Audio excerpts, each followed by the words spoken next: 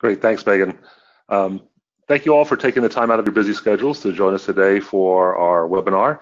Uh, before we got too far into this, I wanted to give you a little bit of a background of myself to, and also to put a face to the voice. In the informatics industry uh, and informatics expert for well over 25 years to this point, and I've had uh, experience and expertise developed over time in a variety of different type of uh, solutions, uh, including lab information systems, electronic lab notebooks, lab execution systems, chromatography data systems, scientific data management systems, clinical systems, and a whole variety of other research type of uh, informatics systems out that are out there. So the alphabet soup, which is very confusing to a lot of people, something that is very second nature to me, and I do tend to sometimes use these these terms, uh, and I don't tend to explain them all that well, and I'll try to remember to do so, hopefully, uh, somebody will kick me along the way if I forget to uh, explain what a term is. But part of the day today is going to be going explaining what these different systems are, LIMS, ELN, and LES, and explaining the differences. So uh, from an industry point of view, I've also had the privilege and uh, honor to work in a number of different types of industries and visit types of laboratories, all different types of laboratories, QA and QC and R&D all over the world, uh, including chemical and petrochemical and pharma, and some of the specialty genomics, proteomics, and uh, other type of laboratories, analytical services labs all over the world. QC R&D, as, well as I've learned and, and absorbed different processes and workflows that different laboratories use and become an expert in data flow and information flow.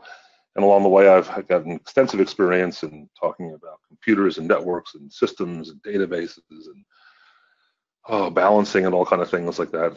so it's all come together inside of a whole informatics expertise.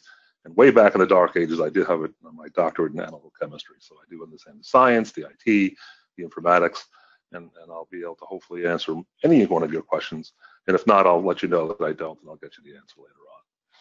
So to make sure that we are all on the same page today, uh, the agenda that you're going to have uh, is going to have an overview of LIMS, uh, where we'll talk about uh, the actual uh, systems, what they do, what they're used for, the marketplace, uh, same thing for electronic lab notebooks or ELNs.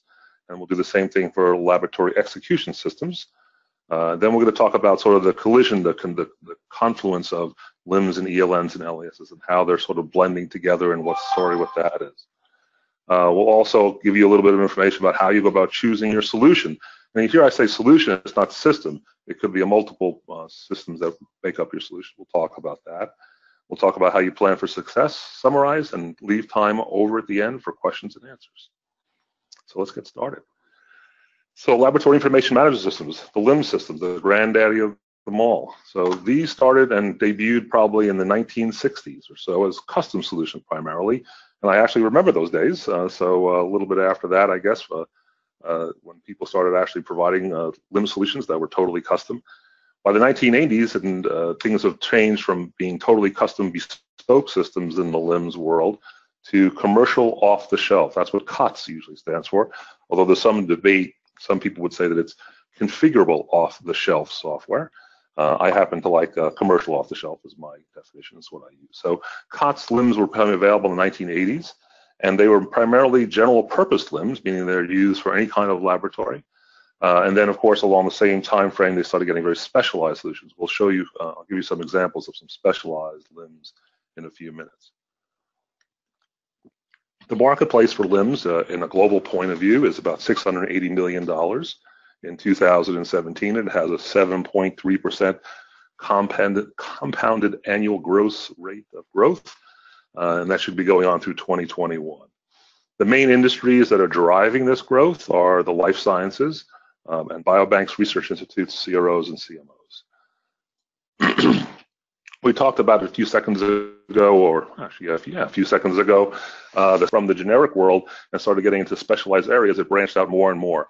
And as science changed, you'll be surprised. You wouldn't be surprised that there's a new LIMS comes out for that coming up right away. So, biobanking and biorepositories for chemical QC is traditional, environmental, agricultural, pathology, toxology toxicology. So all these different types of LIMS actually have had specialty types of capabilities built into them so that you now have these uh, sort of starting points and systems that are designed specifically for those areas.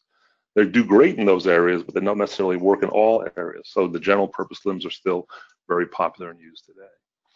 Traditional LIMS, and this is where we try and get into what the differences are. Okay, this is what people can get confused about. They hear the terms, they're not sure what's what, and this is not so much in the LIMS world, but in the electronic lab notebook and laboratory execution systems, people don't understand the differences that much.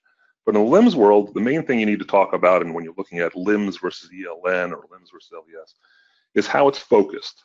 Right. So a LIMS is traditionally focused on samples or logical groups of samples, like a batch or a run. Right. And the main functionality that you're going to find inside of a LIMS is for the management and running of a laboratory and laboratory operation. And that's driven by samples flowing through the laboratory in what's called a standard sample workflow, which involves logging in the samples to your to your laboratory, registering them somehow, or send or sessioning them, as, as some people call it. Then once it gets in, having it show up at the laboratory and accept that it's there, assign uh, specifications to it, tests to it. Uh, of course, specifications wouldn't be in an R&D environment, but in a uh, most QC environments, you would have specifications, tests, limits. Then you would go ahead and do your testing, enter your results, have the calculations done for you, do your analyses, do your reports, and archive information. So that's a standard type of flow that you would have inside of a sample, inside of a laboratory, which is mimicked inside of most LIM systems, commercial LIM systems.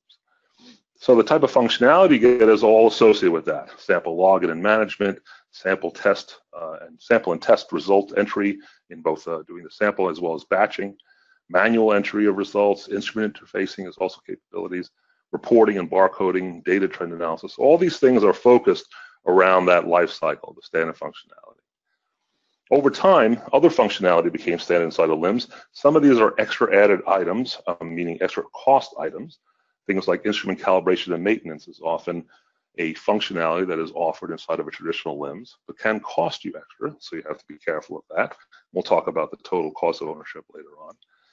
Um, being able to have um, inventory management, another sort of add-on capability, but other capabilities for task and event scheduling, inventory management, uh, for um, workflow management, all became part of LIMS systems. So standard functionality has grown over time and hence you also have some of this expansion into other areas.